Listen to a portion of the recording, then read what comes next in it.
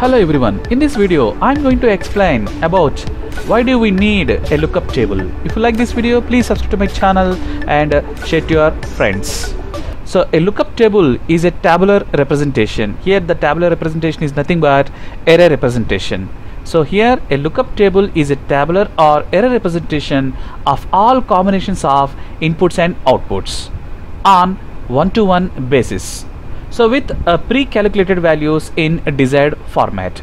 Here the inputs and outputs on one-to-one basis which are pre-calculated values in desired format which are represented in the form of a, a tabular form or array form which is called as a, a lookup table.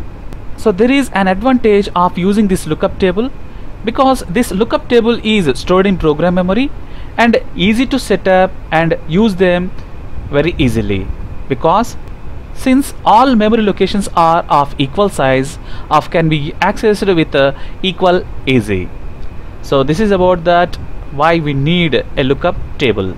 So thank you very much for watching this video. To watch more videos please subscribe to my channel openbox education